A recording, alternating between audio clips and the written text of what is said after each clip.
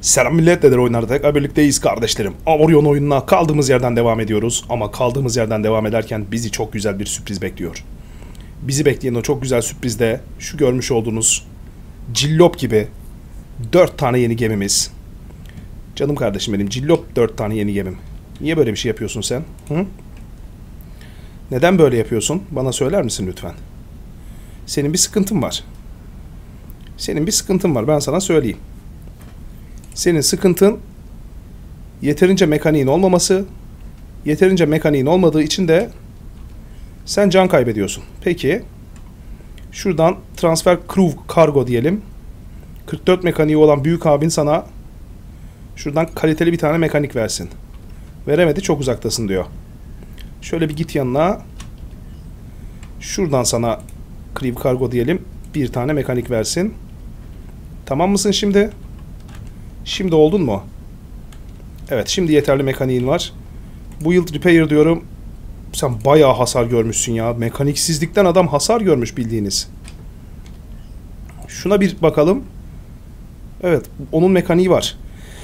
Kardeşlerim 3 tane yeni gemi yaptım sizler için. Bu yaptığım 3 tane geminin gövdeleri ortak ama şu gövdelerde yani hani yapmadan bilemiyorsunuz. Şu gövdelerin şu eğimleri var ya hani görmüş olduğunuz şu eğimleri.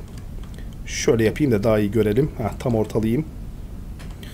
Şu görmüş olduğunuz gövde eğimlerini, bombellerini, şu köşeli şekilleri, şu kanatların şu açılarını falan vermek var ya of of ömür törpüsü resmen. Ha bir tane geminin şöyle zoom yapsak içine girebilir miyiz geminin? Giremedik. Bu yıl diyeyim. Bu yıl diyerek girebilirim bence geminin içine. Gördüğünüz gibi geminin içinde şurada diğer parçalarını görebiliyoruz. Parçaların içinde geziyoruz. Hatta şurada boş bir mekan varmış ya da bu boş bir mekan değil. Büyük ihtimalle e, bir kargo bölümüdür, bir şeydir yani. Gayet güzel.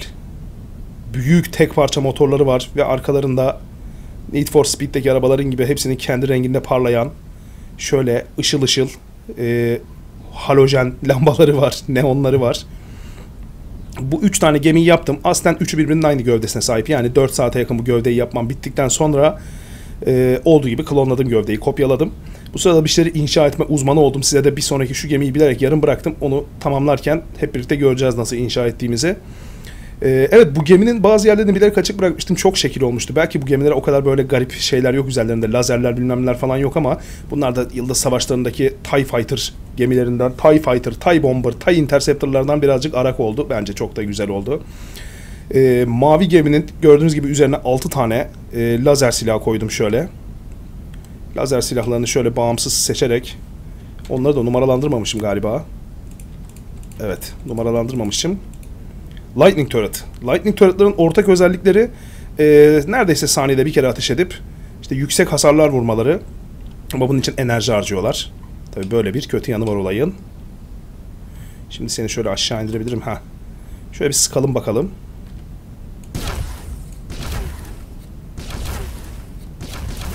Ama gayet güzel hasar vuruyorlar.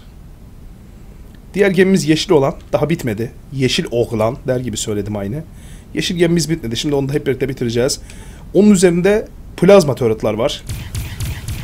Gördüğünüz gibi böyle plazma turretlerle haşır haşır sıkıyor kendisi. Plazma turretların da hasarları ve atış e, şeyleri, hızları hemen hemen birbirlerine denk. Böyle 40'a 4 efendim 160 yani 7'ye 3 210 bu daha güzelmiş 36'ya 3.6 gibi. E, mesafeleri de ortalama hepsinin. İşte 3.6'ya sıkıyor 4.4'e sıkıyor 4.64'e sıkıyor diye. Bu da her daim yani elektrik atan geminin bir süre sonra elektrikten dolayı biraz atış hızı yavaşlıyor ama bunun durmaksızın hep sabit bir hasarı var. Ve tabi gemilerimizin bir de öz, isimleri var. Bu gemimiz Yeşil Kader. Şu gemimiz Mavi Kurt. Bu gemimizde Kızıl Öfke. Kızıl Öfke gemimizin de şöyle bir dizaynı var. Ve üzerinde altlı üstü 8 tane roket atar var. Bu roket atarlar 0.7 saniyede bir 228 vurabiliyor. Efendim 1.3 saniyede 479 vuran bir manyak var bunun üzerinde. Ee, saniyede 3 kere 224 vuran var. Burada bir tane yarım saniyede bir 318 vuran var. Bir tane efsanevi var. 6 saniyede 6 kere 315 vuruyor ama overhead yazıyor üstünde. Anında overhead oluyor. Zaten böyle abartı vuranlar anında overhead oluyorlar. Seeker missile atıyor. Takip ediyor hedefine. Ve saniyede 3 kere 224 atan var. Yanlışlıkla şöyle bir şey hedeflerseniz var ya bu gemide off off. Çünkü boşa da atsanız Seeker missile'lar yüzünden gidip o şey yapıyor. Sizin e, geminize çarpıyor. Hatta bunu bir göstereyim ben size. Şöyle hepsine bir diyeyim ben bunların. Şurada Seeker Missile diyene 2 diyeyim. 2'yi kapatıyorum. Birleri şöyle bir ateşleyeyim. Gördüğünüz gibi hedefimiz olmadığı için biraz sapıkça burada ama Bize de biliyorsunuz bu tarz saldırılar yapanlar oluyordu. O nedir uzun süre anlamamıştık. İşte onlar roketmiş. Şimdi Seeker missile'ı atıyorum. Şurayı hedeflemişken. Yani orayı hedeflemişken bu arada normal missile'ları attığımda oraya doğru gidemeyenler gitmiyor gördüğünüz gibi. Ama Seeker missile'ı atarsak gerçi ee, Seeker missile atam ha gemimizin yanından dolayı şurada gördüğünüz çıkıntıdan dolayı Seeker Missile o tarafa doğru bakıp ateş edemedi. Kendi çıkıntısından. Evet süsümüz de bazen böyle şeylere sebep olabiliyor ama ne yapalım? E, gemimizde süslü olsun istiyoruz yani.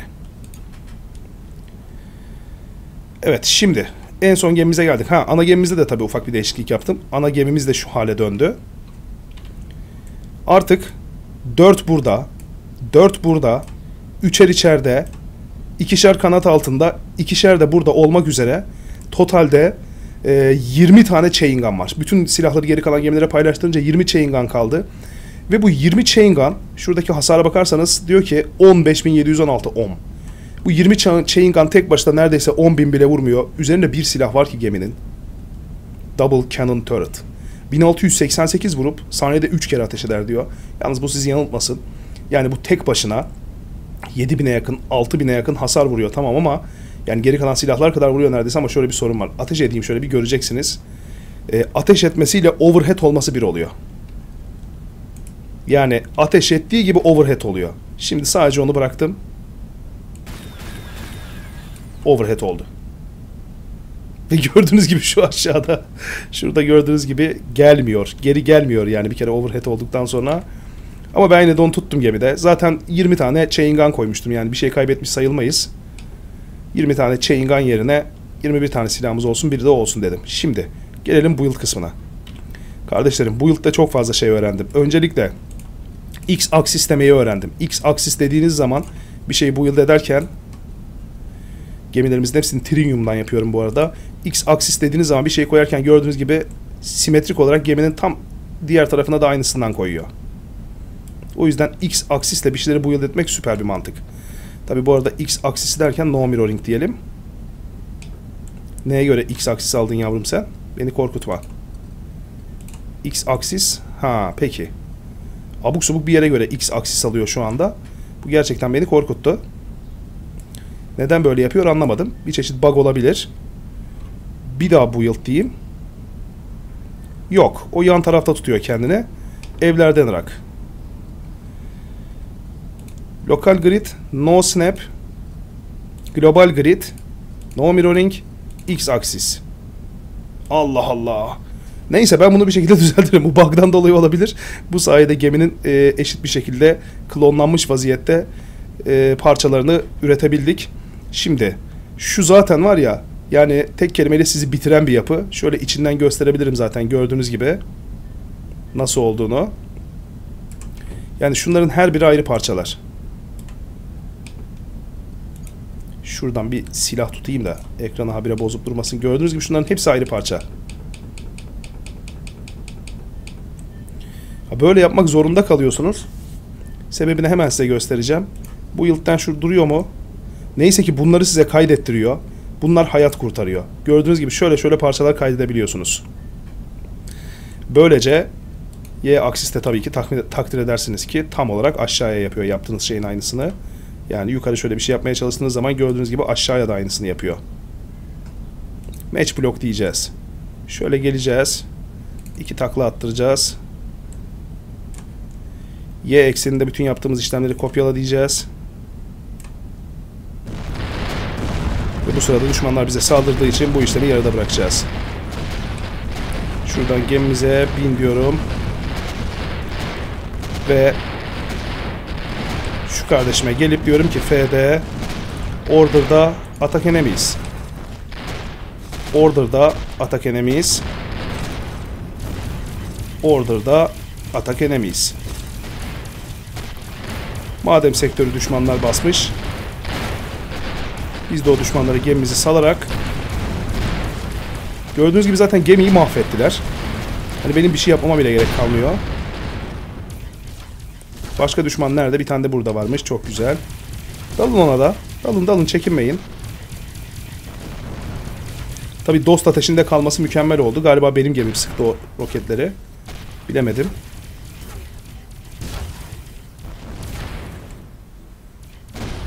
Gayet güzel savaşıyor gemilerimiz. Bu arada güzel de modüller taktım tabi hepsine. Hepsine birer tane shield arttıran modül taktım. Silah takabilmeleri için silah arttıran modül taktım. İşte bu roketlerin en kötü yanı uzak mesafede böyle yavaş gidip ıskalamaları. Neyse ki arada güdümlü roketler var. Bakalım seni ne yapacaklar. İzleyeceğim abi oturup. Zaten ben sıkarsam ayıp olur.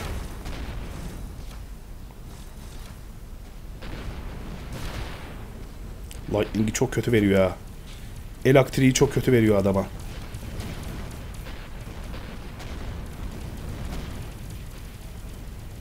Güzel zırhımızı bile bitiremediler daha. Hadi çocuklar bir yardımcı olayım size biraz ben. Tamam bence güzel oldu. Başka nerede düşman var? Oo çok uzakta bir tane var. 20 kilometrede. Bir tane de şurada var. Da 20 kilometrede gerçi. E hadi ben de geleyim madem sizinle ya. Bu arada gemilerin tabi size söylemediğim başka güzel istatistikleri de var. Mesela bunlardan bir tanesi e, çok hızlı gidip çok hızlı durmaları. Yani bakmayın şu anda ben ateşlediğim zaman onlar tam olarak bizim gibi ateşlemiyor. Normal bir hızda gidiyorlar. Ama gemilerin maksimum sürati gerçekten bizim bu büyük gemimize yakın. Ama freni büyük gemimizden çok daha iyi. Yani bir süre fren yaptığımız zaman gördüğünüz gibi ha fren yapmışız ha gazı bırakmışız. Fark etmiyor duramıyoruz. Onlar duruyor. Bildiğiniz duruyorlar. Durmayı da biliyorlar yani. Biraz daha yaklaşayım da sana bir ben ne var ne yok bir boşaltayım şöyle.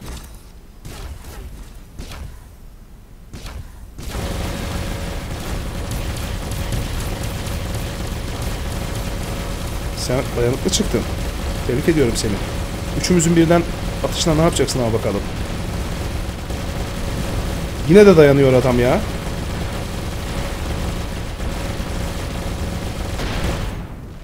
Vallahi yine de dayandı. Ki güzel de şeyler çıktı ondan ha. Yeşil kadersen nereye gidiyorsun? Çıkan eşyaları bırakmam mı diyorsun?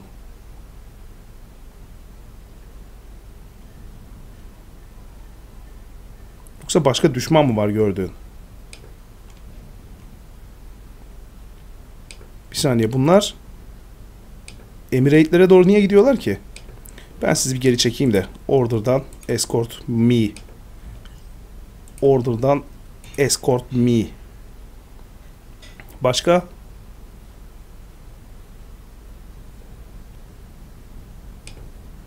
Sen de Order'dan Escort Me. Yanda gördüğünüz gibi resmine geri döndü zaten hemen. Benden bu komutu alınca yeşil geminin içine girelim. Bu yıldızımızı verelim. Şimdi kardeşlerim nerede kalmıştık? Şu yukarıki yapıyı oluşturmak şöyle bir hamle gerektiriyor. Efendim Trinium Corner, Corner'ımız var. Trinium Corner'ımızı alıyoruz. Trinium Corner'ımıza diyoruz ki Şöyle gel. Match bloğumuzu da seçiyoruz. Match blok yapıştırıyoruz. Gördüğünüz gibi bir corner oluştu orada. Şunun aynı büyüklükte mi oldu acaba? Bilemiyorum. Aynı büyüklükte mi oldu? Bakalım hemen onun aynı büyüklükte mi?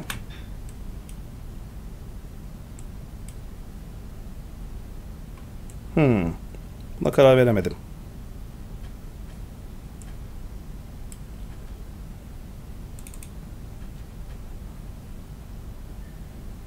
Galiba. 30'a 5. İşte bu yüzden hani bu aslında kopyalamayla yapmak 56'yı 10.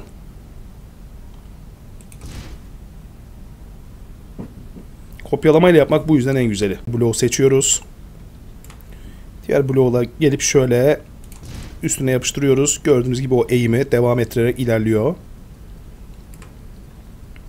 Ondan sonra gözümüz şu shield parlamasından kör olurken gelip bunun yanına doğru bir tane daha blok yapıyoruz. Sonra üstüne doğru bir tane daha blok bırakıyoruz. Burada inşa ederken şöyle inşa halini görürken aslında çok da zor değil değil mi? Ama işte sıkıntı şu. Şu eğimi vereceğiniz zaman hangi bloğu neyin arkasına koyacaksınız, ne yapacaksınız onları falan e, yapmaya çalışırken ananız ağlıyor. Bildiğiniz sizi isyan ettiriyor. Ki bu YX Global Green'de bulmadan önce şu hamleyi yapamazken çok uğraşıyorduk. Yani şu anda aşağı koyduğum her bloğu bilmiyorum dikkat ettiniz mi yukarıya kopyalıyor. O yüzden işimiz gerçekten kolay.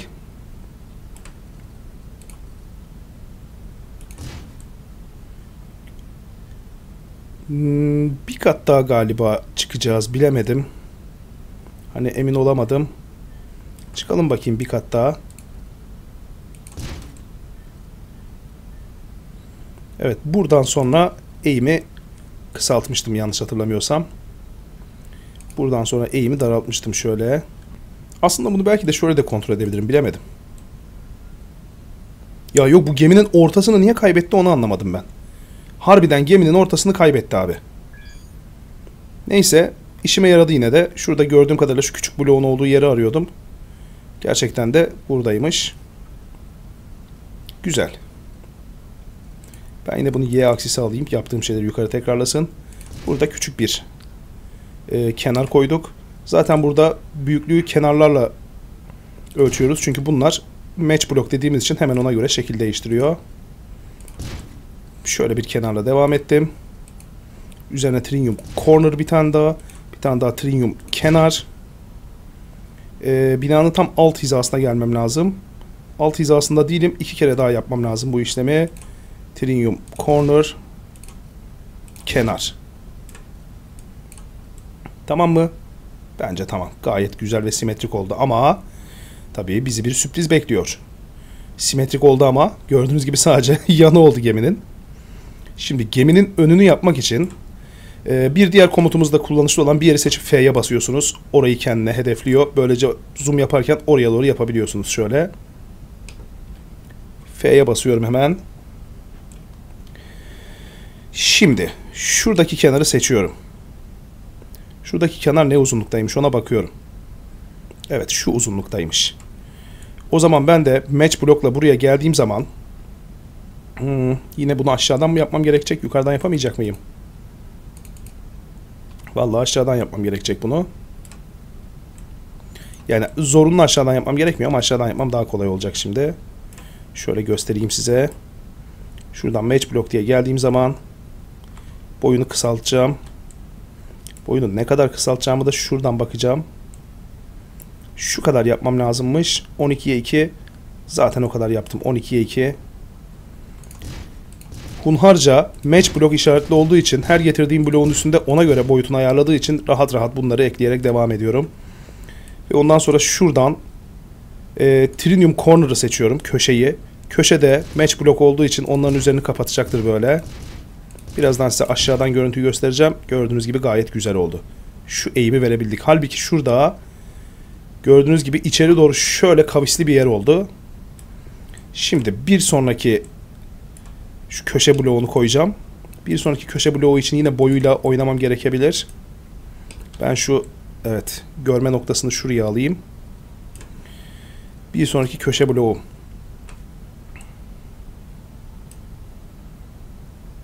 Ona 2.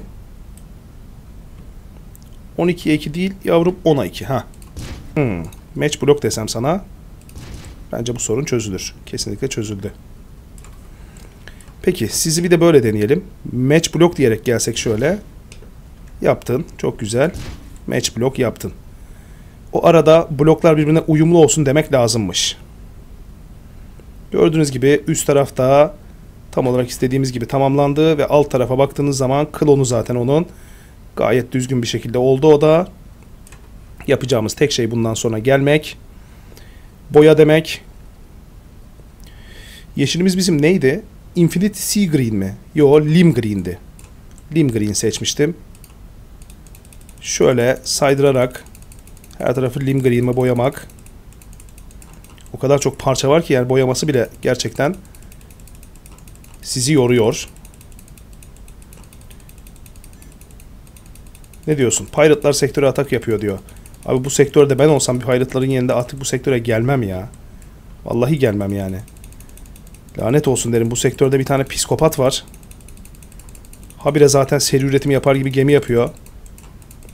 Yalnız şurada kardeşlerim sizinle birlikte yaparken bile ne kadar vakit aldı. Ve bazı kısımlarını atladım videonun. Bu gemileri yapmak gerçekten vakit alıyor. Şunu düzelteceğim ben ya. Şuna ayar oldum ben. Düzelteceğim ama şimdi uğraşmayacağım onunla. Evet bence bu da böyle güzel orijinal bir gemi oldu. Hoyratça üzerine koyduğum lazerleri şimdi alıp e, daha da alta ve üste koysam mı acaba diyorum. Bence geminin dört bir yanına koyayım ben bu lazerleri. Ya da şunların altına mı koysam acaba? Şimdi lazeri bunun altına koymak istersek zanyon. Bizim kullandığımız madem materyal trinium.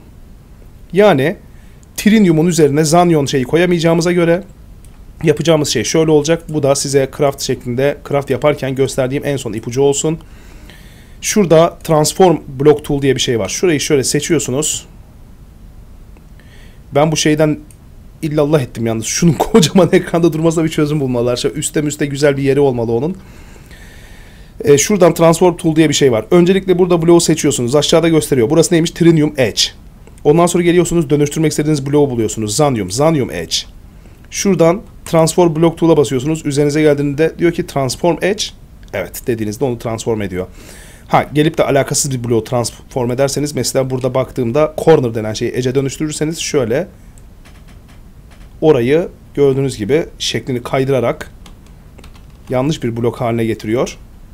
O yüzden böyle şeyler yapmıyoruz. Ya da işte şuradan daha rahat anlatayım size. Zanyon Glove seçtiğim yer Titanium Edge dönüştürme ile burayı Zanyon Glove yapacağım mı diyor. Evet dedim. Gördüğünüz gibi yukarı doğru çıkık oldu. Fena da olmadı yalnız ha. Neyse ben bunu bir düşüneyim. Ben bunu glove yapmayı bir düşüneyim. Hoşuma gitti resmen. Bilmiyorum ama şu ikisini bırakacağım. Savaş sesleri beni çok endişelendirmeye başladı. Bence bu saatten sonra olmuştur. Şöyle bir geminin durumunu kontrol edelim. Yeşil kaderin bütün silahlarını tekrar numaralandıralım. Şunlar da hata veriyor ama onlara bakmayın. Dediğim gibi kaliteli adamlar çalıştırdığım için birden fazla iş gücü taşıyan Yeşil Kader'in şimdi atışlarını yapıp yapmadığını bir kontrol edelim. Evet. Bütün silahları kullanıyor. Güzel kardeşim. Bu gemiye ben artık bineyim. Siz suyunu çıkardınız. Siz için suyunu çıkardınız. Order'dan atak enemies. Sana Order'dan atak enemies. Maviye de diyeyim ama mavi zaten yardırmış. Atak enemies. Üçünüz şimdi aslanlar gibi savaşın bakalım.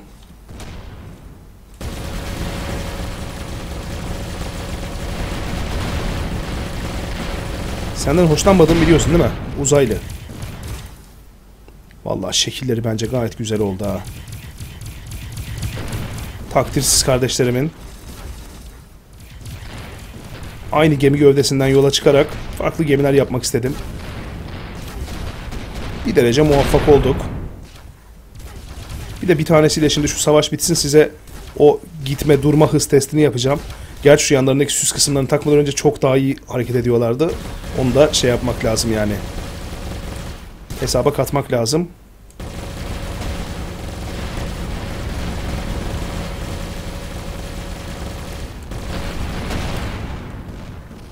Güzel. Neredesiniz çocuklar? Bir de en büyük eksiği şu anda oyunun filo olarak komut veremememiz gemilerimize. Gemilere filo olarak komut veremiyoruz. Yani o küçük gemiler gibi kullanamıyoruz onları. Hepsine tek tek komut vermemiz gerekiyor. Küçük gemiler şurada zaten. Maalesef üçüne de birer birer sen şunu yap sen bunu yap diyeceğiz. Belki önümüzdeki güncellemelerde gelecek yeni güncellemelerde bunu yaparlar ki bence de yapmalılar. Oyunun en büyük eksiklerinden biri bu çünkü şimdi. Tabi şu anda düz durmuyor. Düz dönecek. Evet düz döndü. Bu yıl dediğimizde Trust nereye düşmüş? 240'a break'i de 80'e düşmüş. 240'a 80 maksimum 793 yapıyor. 272'ye 92 maksimum 782 yapıyor.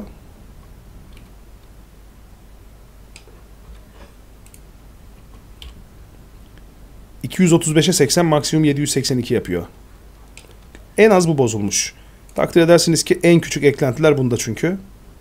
O zaman şöyle bir göstereyim. Bu yıl diyelim Repair'dan ufak bir repair'ımız var. Onu yapalım. Şöyle bir ateşleyelim gemimizi. Şurada bir hedef seçelim kendimize. 51 kilometrede. Gördüğünüz gibi normal süratte 780 yapıyor. Bu da bizim bir önceki maden kazan gemimizden daha hızlı. Ama önemli olan şu. Gaza basmayı bırakıp fren yaptığımız zaman da gayet güzel bir şekilde duruyor. Yani şu fren bizim oyunda normalde bulamadığımız bir şey. Normalde biz oyunda bu freni bulamıyoruz abi. Ha bu arada tabii bir de şöyle bir şey var. Ateşlediğiniz zaman da 3100'e kadar gidiyor.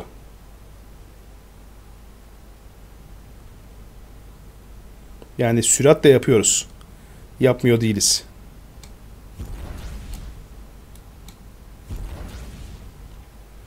Tek bir şey var deneyeceğimiz. Ha, onlar bu korsanı gördüler büyük ihtimalle. Ta nereden korsanı görmüşler var ya. Saldırmaya gidiyorlar. Tek bir şey var deneyeceğimiz. Bunları benim yaptığım yer içinde gemi yapabileceğim bir sektör bulmam lazımdı. O yüzden gemi yapan bir yerden buraya geldim. Bu inşa işlemine başladım. Ve buradan tek gidebileceğimiz yer hyperspace'de zıplayarak bir yerlere gitmek. Ulaşabileceğimiz yer. O yüzden hyperspace yaptığımda benimle birlikte hyperspace yapacaklar mı çok merak ediyorum. Bu bilinmezliği gelin sizinle şöyle kendi gemimizin bir içine girelim.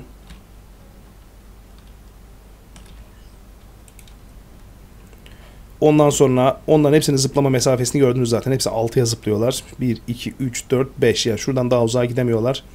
Şurayı geçebilecek olan bir yer şuralarda e, bir mekan olması lazım. Ya burası bu adamların üssü. El bilmem ne Buhrani yazan adamların üssü burası. Bir de onların normal sektörleri olması lazım. Biliyorsunuz üst gezegenleri, üst galaksileri var böyle. Üst galaksilerde şuradan şöyle uç dersem sanki kendi gemime bindiririm gibi geldi ha. Bir tedirgin oldum. Bir de şöyle bir kontrol etsem acaba hani bunlarda da jump rota şey yapıldı mı?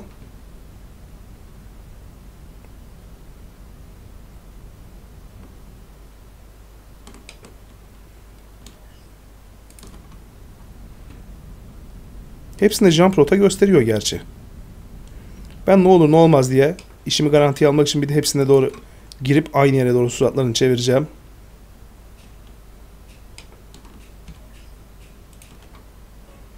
Evet. O zaman gidiyoruz.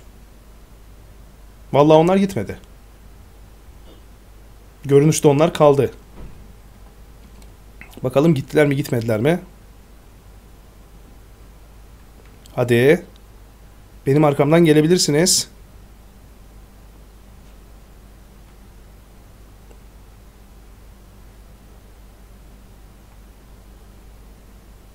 Beni gerçekten üzecek misiniz böyle bir şey yaparak? Bakın burada ne güzel şeyler var. Geçiş kapıları var. Bu geçiş kapılarından hep birlikte geçer giderdik. Başka sektörlere yolculuk yapardık. Şurada ne güzel görevlerimiz var. Efendim görevler içinde şöyle bir tane görevimiz var. Artifact Delivery. Zısotan artefaktini bul diyor. Bize bir tane lokasyon verdi bu Zısotan artefakti için şurası. Eksi 35, eksi 161. Eksi 35, eksi 161'e git dedi. Konuşamıyorum. Eksi 35. Eksi 161'e git dedi. Her getirdiğiniz Zısotan artefakti için sana 100 milyon vereceğim dedi. 100 milyon biraz iyi ya. 100 milyonu biz şu anda rüyamızda görüyoruz çünkü. Bu bölümümüzde de böyle inşa dolu size göstermek istedim. Bir gemi yapımı nasıl? Bir nasıl gemi nasıl yapılıyor? Kaç usta çalışıyor bir gemi yapımında? Size bunu göstermek istedim. Ee, bol bol savaş da yaptık gerçi ya yine. Artık ben bu bir üstteki sektöre şuraya çıkmayı bir şekilde başaracağım. Orayı başardıktan sonra da Bakın neredeyiz. Galaksinin merkezine bu kadar kaldı. Galaksinin merkezine doğru hunharca bir yolculuk yaptık şuradan. Şuraları geçerken de resmen anamız ağladı yani ha. Devamlı şöyle bir yarık var etrafımızda. Artık onu nasıl atlatacağız bilemiyorum. Galaksinin merkezine olan yolculuğumuzu tamamlayacağız. O sırada bu görevleri yapacağız. Karşımıza çıkan düşmanları alt edeceğiz. Bakalım daha neler neler. Bunlar da artık bir dahaki bölümlere kalsın. Artık inşamız bitti. Şu gemilere ben küçük küçük eklentiler, belki böyle e, parlak ışıklar bir şeyler takarım ama onun haricinde artık daha da bir şey yapacağımı zannetmiyorum. Herhalde inşadan uzun süreden inşaya elimi sürmem, gemi yapmam diye düşünüyorum.